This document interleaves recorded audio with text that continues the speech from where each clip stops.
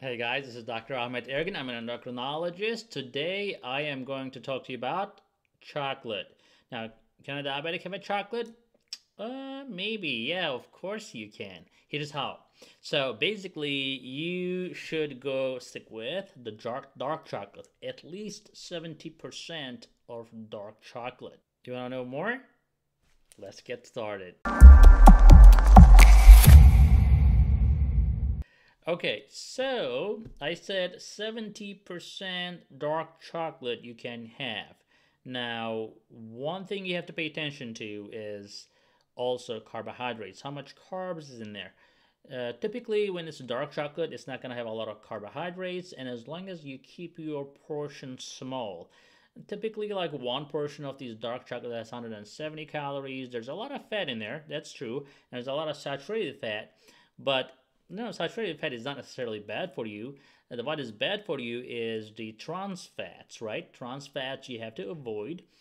And uh, but in this case, uh, chocolate has so many other benefits. Now, chocolate, dark chocolate, has been proven to actually improve insulin secretion and reduce insulin resistance when you know uh, consumed in moderation. But also, chocolate has these things in it. Let's have a look at it: fiber, iron, magnesium, copper, manganese, potassium, phosphorus, zinc, selenium.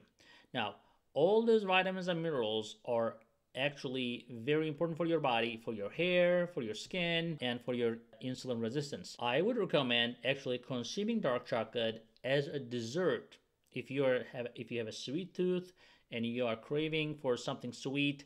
I would say dark chocolate for you should be the way to go because of the antioxidant properties, uh, because it also helps reduce the insulin resistance, it will potentially help to prevent cardiovascular disease as well. What else chocolate can do? Chocolate can actually, interestingly, stimulate the nitric oxide from the endothelium cells from the arteries. Endothelial cells are the lining under arterial cells, and as we discussed in the previous videos, when your endothelial cell is damaged or when there's not enough nitric oxide production, it can lead to high blood pressure.